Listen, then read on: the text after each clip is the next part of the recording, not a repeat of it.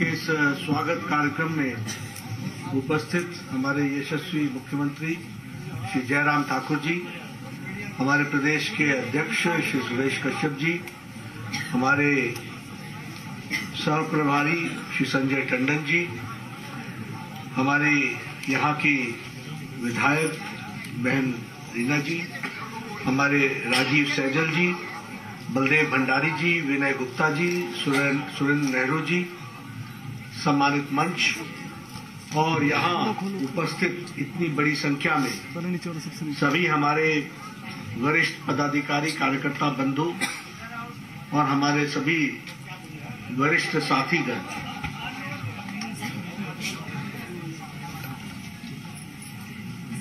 मुझे आज यहाँ सराहन में आने का मौका मिला है और जिस गर्म जोशी के साथ आपने इतने रात गए मेरा स्वागत किया है। इसके लिए सबसे पहले तो मैं अपनी ओर से और पार्टी की ओर से आप सबका हार्दिक धन्यवाद देता हूँ आपको। और, सब लोग बड़े जोश में, मैं देख रहा था सब कोई व्यक्तिगत रूप में गुलाब का फूल मुझे दे रहे थे। ये गुलाब का फूल नहीं था ये गुलाब के माध्यम से आपकी भावनाएँ प्रकट हो रही थी। जिसको मैं सजो करके याद रखते हुए आगे बढ़ने का प्रयास करूँगा ये आपको विश्वास दिलाता हूँ।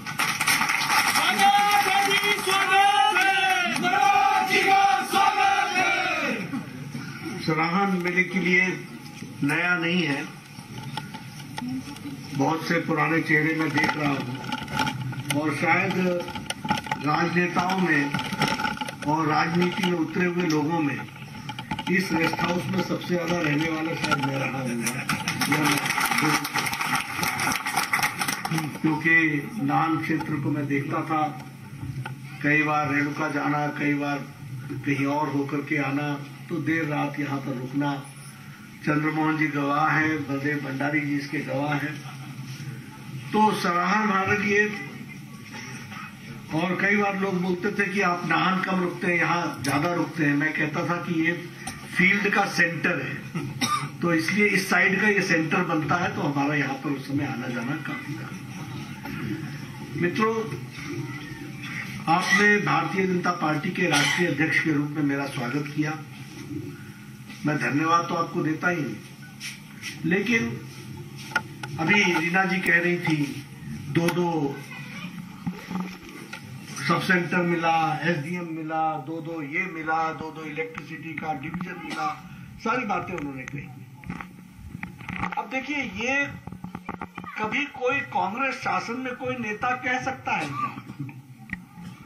ये कहने की हिम्मत किसी भी विधायक को या सांसद को होती है तो वो भारतीय जनता पार्टी के ही समय में होती है, ये एक बार भाजपा! यानी विकास का दूसरा नाम भारतीय जनता पार्टी है। विकास होगा तो हमारे समय ही होगा। लोगों की तकदीर बदले, तस्वीर बदले, परिस्थिति बदले। यह भारतीय जनता पार्टी का लक्ष्य है। और आदरणीय मोदी जी के नेतृत्व में देश बहुत तेज़ी से आगे बढ़ रहा है। अब मैं आ रहा था कई बार पहले भी सड़कों पर चलता रहा हूँ। अब आपकी ये डबल लेन हो गई है। मैं ही फॉरेस्ट मंत्री था, जब मैंने इसकी फॉरेस्ट क्लियरेंस दी थी। तो उस समय कांग्रेस ने कहा था, पेड़ काट दिए तो पेड़ काट दिए, पेड़ काट दिए। हम तो उनकी जड़ें काट रहे थे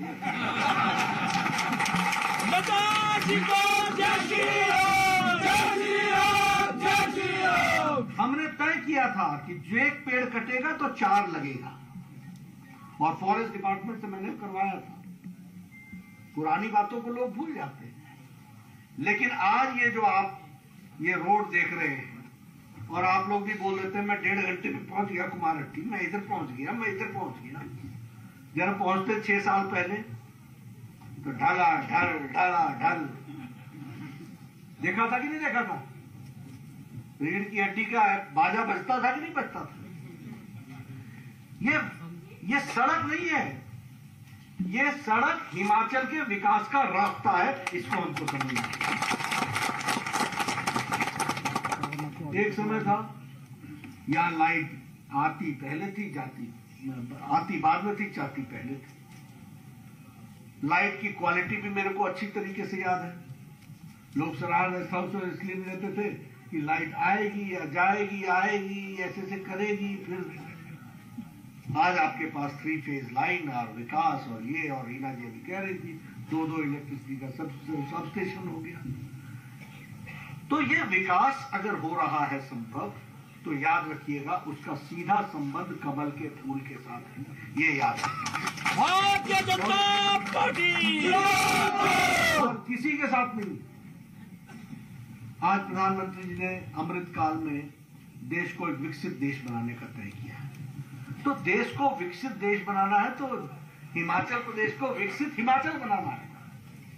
और ये दम हम भरते हैं कि हमारे लोग और हमारे नेता और हमारी पार्टी और हमारे विधायक ही इसको पूरा करेंगे, इस बात का आपको विश्वास रखना चाहिए। आज नान में मैं मेडिकल कॉलेज में गया था 300 करोड़ 333 करोड़ रुपए की लागत से बन रहा है नान का मेडिकल कॉलेज आपने कभी सोचा था कि दिल्ली आपको मेडिकल कॉलेज देगा? बताइए ना सोचा था क्या? गवर्नमेंट डिग्री कॉलेज को पोस्ट ग्रेजुएट बनाते बनाते तो हाफ़ गए आप लोग थक गए। मेरे को सारे दिन याद है ऐसा मैं इस तरीके से नहीं कह रहा हूँ। मैं छात्र राजनीति की दृष्टि से काम करता रहा हूँ और आज आपको मेडिकल कॉलेज मिल रहा है। हॉस्पिटल का बेड बढ़ाया जा रहा है। हर दृष्टि से हम जोड़ने का प्रयास कर रहे हैं। एक समय में यहाँ सौ डॉक्टर निकलते थे। अब हिमाचल प्रदेश प्रति वर्ष 500 डॉक्टर निकालेगा इस बात को। गाँव तक डॉक्टर पहुंचेगा। तो मैं विकास की बहुत सी कहानियाँ आपको बता सकता हूँ। बहुत से वो बता सकता हूँ जिस तरीके से हम आगे बढ़ रहे हैं। लेकिन मेरा आप सबसे निवेदन है। हर घर जल। इसका मिशन मोदी जी ने उठाया कि नहीं उठाया? है लाखों के घर तक पानी पहुँच रहा है कि नहीं पहुँच रहा है? सर्टिफाइड वाटर पहुँच रहा है कि नहीं पहुँच रहा है? ये छोटी घटना नहीं है। जहाँ शौचालय नहीं थे, वहाँ शौचालय पहुँचाए गए। जहाँ गैस का कनेक्शन नहीं था, वहाँ गैस का कनेक्शन दिया गया अगर मैं आयुष्मान भारत को लेकर के आया तो जयराम जी हिम केयर लेकर के आ गए। जो बचा था पाँच लाख रुपए, उनको साल का हेल्थ केयर के तरफ़ से देने का तय हो गया। आज हिमाचल में कोई भी हेल्थ कवरेज से बाहर नहीं है। यह हिमाचल है इसको हमको समझना चाहिए। स्मोक फ्री धुआँ रहित प्रदेश है तो हिमाचल प्रदेश है कोविड में डोज लगा करके फ़र्स्ट नंबर पर है तो वह हिमाचल प्रदेश है। मैं सबको बार बार बोल रहा हूँ। आप जरा सा विदेश की कोई तस्वीर उठा के देखिए। जो बाइडन अमेरिका का राष्ट्रपति अभी भी मास्क लगा के घूम रहे हैं। और यहाँ आप सब लोग बड़े नज़दीक नज़दीक बैठे और किसी के भी मुँह में मास्क नहीं। ये मोदी जी ने सुरक्षा कवच आपको दिया है डबल डोज लगा करके और जयराम जी ने वो डबल डोज आप तक पहुंचाई है इस कारण से हो सकता है। मोदी जी को जय श्री राम। जय श्री राम जय श्री डबल डोज में भी हिमाचल नंबर वन पर खड़ा है। तो आप समझिए ना कि आपकी ऐसी सरकार है जो आपकी इतनी चिंता करती है। आपको हर तरीके से ताकत देने का प्रयास करती है। और मैं एक बात और भी कहूँगा, मैंने आज नाहन में भी कहा, सब जगह कहा। कई बार हमारे लोग और कांग्रेसियों की आदत है, किसी की नौकरी लग जाए तो दूसरे को बोलेंगे नहीं लगी? तेरे को नहीं लगी? तिल्ली लेकर घूमते हैं, कहाँ आग लगाए? किसको लड़ाए? किसको ये करे? कई बार लोग बोल देते हैं, तेरा क्या किया? मेरा क्या किया? मैं सबको ये बोलता हूँ, क्योंकि मैंने हिमाचल देखा है। यहाँ बैठे हुए सब लोगों को शायद ये तस्वीर नहीं मालूम होगी, आज से तीस साल पहले, बीस साल पहले लोग बाल्टी लेकर के, साबुन लेकर के तेल लेकर के कंधे पर तौलिया रख करके बावड़ी में जाते थे नहाने। और नहा करके आते थे और पसीने से फिर नहा लेते थे घर पहुँचते थे। ये तस्वीर आपने देखी है। आजकल किसी से बात करो तो कहता बस पाँच मिनट में आया मैं, बस पाँच मिनट बस बाथरूम में गया और आया। हर एक के इंडिविजुअल बाथरूम हो गए, सबको पानी मिल रही है। अब चर्चा क्या करते हैं कि पानी कम आ रहा है? जरा प्रेशर नहीं है प्रेशर नहीं है। मैं बोलता हूँ, नवंबर में प्रेशर डाल देना, पूरा प्रेशर आ जाएगा।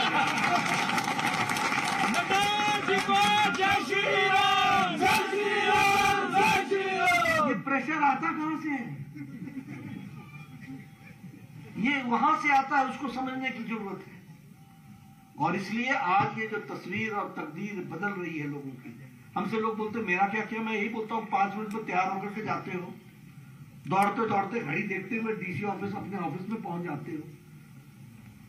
स्कूटर को किक मारते हो गाड़ी को किक मारते हो चल देते हो। इससे पहले आपकी क्या हालत होती थी मुझे भी मालूम है।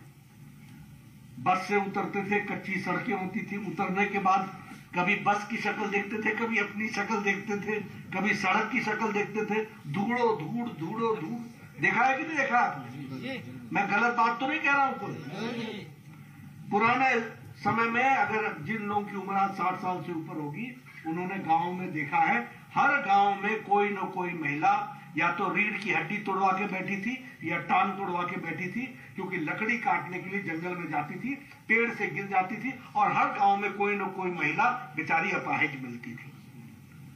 आज आपको उज्ज्वला योजना इनके गृहिणी योजना कोई हिमाचल में बिना गैस के कनेक्शन के नहीं रह गया है।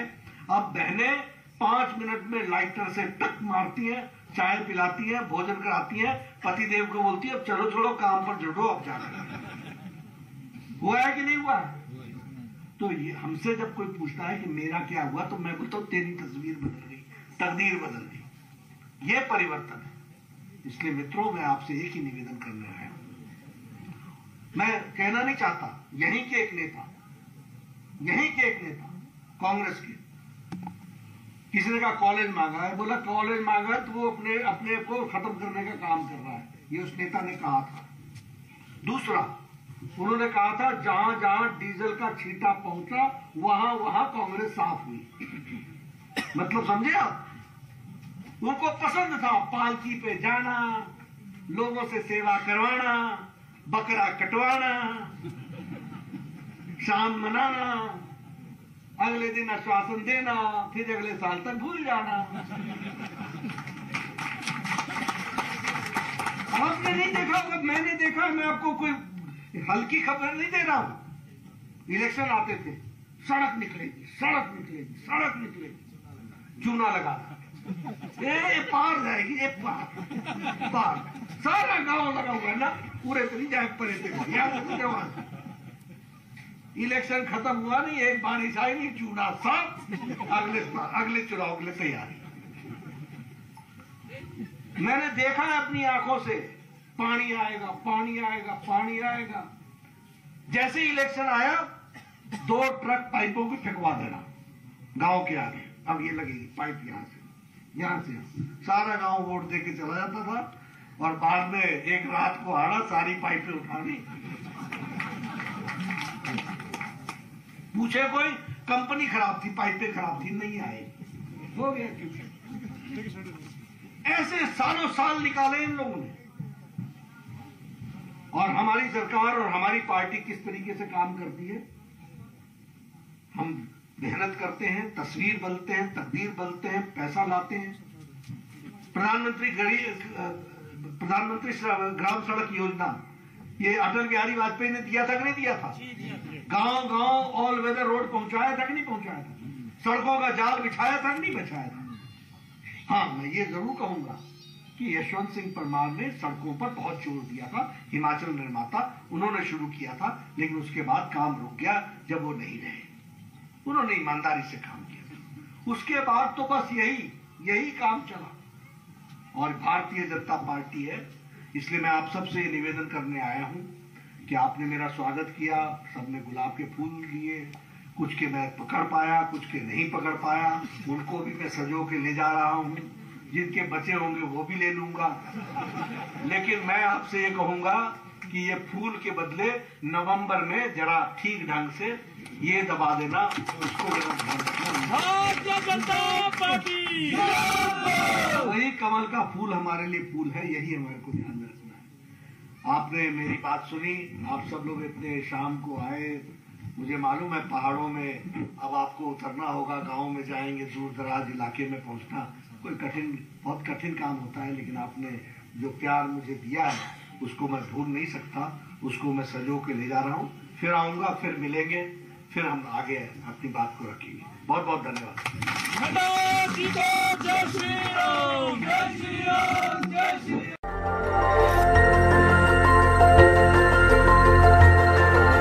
देखते रहिए डीवी भारती समाचार नज़र हर खबर पर।